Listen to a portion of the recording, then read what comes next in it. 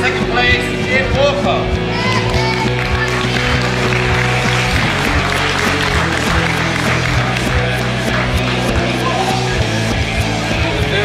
very last very last I should say.